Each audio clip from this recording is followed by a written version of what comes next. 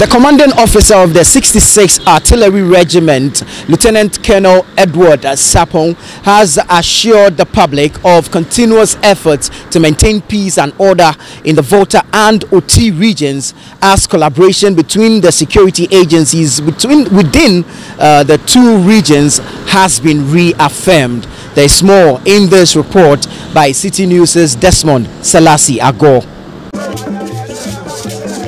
It was an all-fan games activity at the 66th Artillery Regiment's football field where security agencies in the Volta region competed against each other for trophies from various disciplines and also earned bragging rights.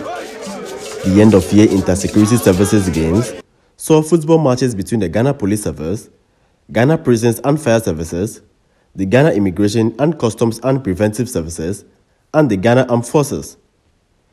At the end of it, the Ghana Armed Forces ladies defeated the Ghana Prison Services ladies in a tag of peace final. The Ghana Prison Service, in retaliation, thrashed the Ghana Armed Forces by a lone goal in the semi-finals and also defeated the Ghana Immigration Services in a penalty shootout to emerge as the victors of the football gala. Trophies and other items were presented to participating teams for their efforts. Addressing the officers, commanding officer of the 66th Artillery Regiment, Lieutenant Colonel Edward Staponapia, commended the teams for their participation in the fun games. According to him, the inter-security games will provide an avenue for officers to socialize and continue to collaborate effectively as the security of the country rests on their shoulders. I want to thank and com um, commend all of you for fully participating in this year's uh, games, Wasa Games. We all know that the security of the region and by extension, the whole country rests on us. And there is a need for this comprehensive collaboration between the services. So this is the kind of activities that we need to perform to collaborate, to foster a very helpful relationship between and within the services. And I think that for this year, we have met that objective. So well done.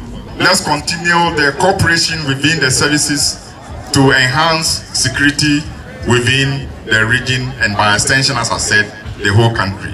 Speaking to Citi News, the second in command of the Ho central prisons, Chief Superintendent Francis Duche said they will continue to do all to give quality reformation to inmates and ensure they become better citizens after serving their terms. We will still continue to do our best as far as security is concerned in order to take care of the entire country.